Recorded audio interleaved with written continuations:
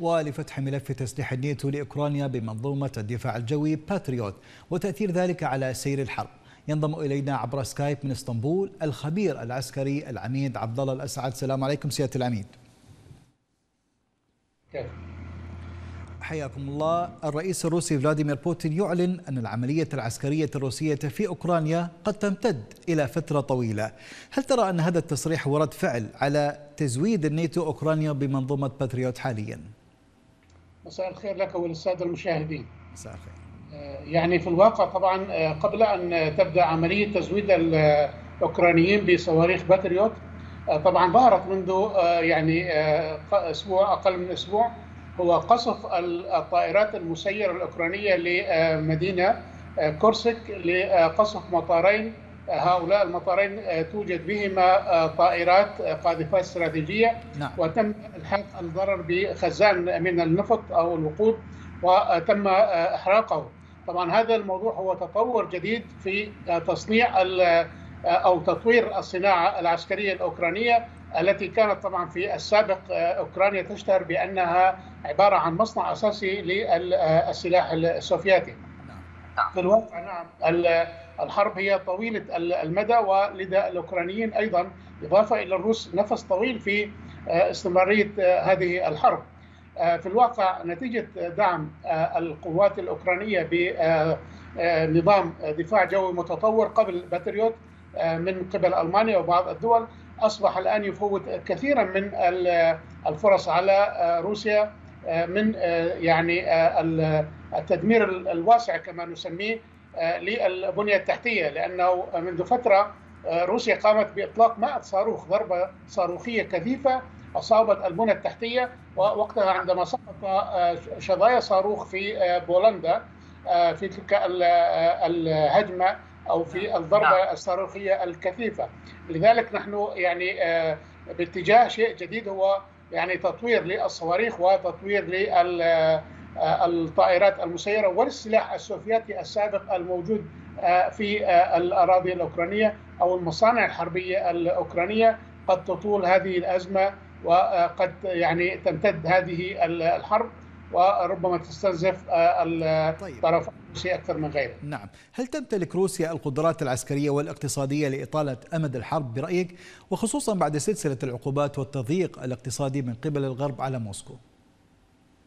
آه، في الواقع طبعا آه، روسيا يعني هذا يعني له عدة أوجه. هذا السؤال يعني على الصعيد الاقتصادي وعلى الصعيد العسكري وعلى الصعيد السياسي والاجتماعي. روسيا يعني آه، طبعا ربما كانت عندما آه، سقط الاتحاد السوفيتي آه، كان لديها قوة عسكرية ليست يعني قليلة ولكن كان وضعها الاقتصادي متدهور جدا. الآن وضعها الاقتصادي متدهور والوضع يعني الداخلي أو الجبهة الداخلية الروسية أصبحت يعني مشتتة وممزقة والكل شاهد موضوع الدعوة الاحتياطية لبوتين التي طبعا هرب منها الشباب وأصبح هناك تململ ومظاهرات ضمن آه، روسيا ضد هذا يعني هذه الحرب. نعم. آه، بالنسبة لموضوع إطالة أمد الحرب يعني آه، روسيا طبعا هي الآن تعرف ماذا سيحل بها من موضوع إطالة أمد الحرب فهي الآن تستعين تستعين بمرتزقة من الخارج من أجل أن يكونوا وقودا لهذه الحرب والكل يعرف بأن روسيا الآن أصبح لديها في الأراضي الأوكرانية مستشارين وخبراء إيرانيين نعم. آه، من أجل آه، موضوع تدريب التدريب على استخدام طائرات المسيرة نعم. التي جاءت بها آه، روسيا من إيران وأيضا هناك مقاتلين من نظام أسد موجودين على الأراضي الأوكرانية والشيشانيين الذين جاء بهم قاديروف. نعم. لذلك يعني هو يريد أن يعتمد على الطرف الخارجي أكثر من الجيش الروسي النظامي.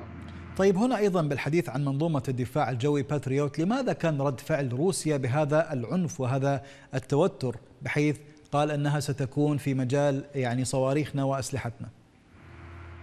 يعني المنظومة الصاروخية باتريوت طبعا يعني لديها قدرة كبيرة على يعني اكتشاف الأهداف ومقاومة الأهداف سواء الجوية أو الصاروخية. فهي لديها سطع راداري كبير تعامل مع حوالي 36 هدف دفعة واحدة. يعني التصدي للصواريخ على مسافة 75 كيلومتر. اذا هنا أصبحت يعني أصبحت الذراع الجوية الروسية في خطر عندما تأتي الباتريوت. وأنا أتوقع يعني ليس كل ما يصرح به هو حقيقة. في الواقع عندما يصرح وزير الدفاع وزير الدفاع الأمريكي أنه غير يعني مسموح لأوكرانيا إطالة أو استهداف العمق الروسي في في موسكو أو في داخل روسيا. نعم. وليس حقيقة لأن الأوكرانيين الأوكرانيين قادرين على استهداف قلب موسكو. لكنهم يريدون فقط كونهم يعني المعتدى عليه يريدون أن يظهر العالم بانه هم المظلومين. وعندما استهدفوا يعني بالطيران المسير عمق روسيا استهدفوا مناطق عسكرية وأهداف عسكرية. اذا في المستقبل ستجد إذا طال أمد حرب والكل يعرف أن يعني أوكرانيا أصبح يعني لديها كم كبير من التدمير في البنى التحتية والطاقة. نعم. وروسيا تركز الآن على الطاقة. الغاز والوقود والكهرباء. من أجل الضغط على الأوكرانيين لتوقيف يعني طيب. أو الاستسلام نعم هنا في ضوء هذه الإمكانيات لمنظومة الدفاع الجوي باتريوت هل تعتقد أن موازين الحرب في أوكرانيا قد تتغير إذا ما استلمت أوكرانيا هذه المنظومة بالتأكيد بالتأكيد يعني منذ بداية الحرب لاحظنا أن روسيا يعني بهذه الأسلحة التكتيكية الآن أنت ترى بان هذه دولة نووية. لأول مرة تجد دولة نووية تقاتل دولة أخرى بأسلحة تقليدية. وتم تم فشل هذه الأسلحة التقليدية الروسية في الواقع. يعني منذ بداية الحرب رأينا تدمير القوات الروسية على مختلف الجبهات والطرقات وعلى محاور التحرك. وفشلت بالواقع روسيا بكثير من الأسلحة التقنية هذه الأسلحة اللوجستية التي طبعا هي الداعمة في المعركة المشتركة الحديثة داعمة لصنوف القوات القتالية من المشاة والدبابات والمدفعية والبحرية. لاحظنا كيف كيف استطاع الأوكران بمساعدة الغرب التشويش الإلكتروني على موسكافا وتعطيل أسلحة الدفاع الذاتي عنها وتدميرها في البحر. طبعا وهذا النوع من الطرادات العسكرية هي قادرة على حماية نفسها. بما تحمل من كل شيء. آه لذلك يعني آه بالتأكيد آه سيتطور مجرى المعركة أتوقع على نحو أعمق. يعني تصريحات الآن الروس هو عبارة عن قلق ميدفيديف عندما يقول ربما تندلع حرب نووية. نعم هو عندما تأتي عندما يأتي باتريوت الواقع سيتغير 180 درجة. طيب يعني يعني لماذا لماذا تأخر إمداد أوكرانيا بمنظومة الباتريوت لغاية هذه اللحظة؟ لماذا لم يتخذ القرار من من فترة قبلها؟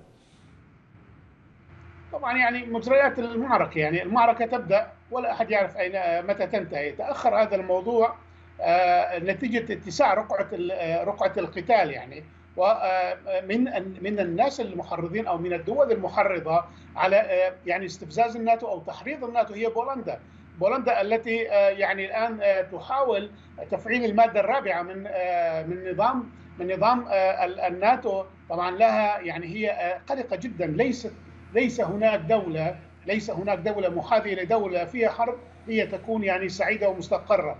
دائما جيشها بحالة جاهزية قتالية عالية ومستعد للانتقال إلى الجاهزية القتالية العالية. لأن حدودها هذه الدولة طبعا يعني مهددة في أي لحظة من اتساع رقعه حرب. نعم. من إسطنبول الخبير العسكري العميد عبد الله الأسعد شكرا جزيلا لكم.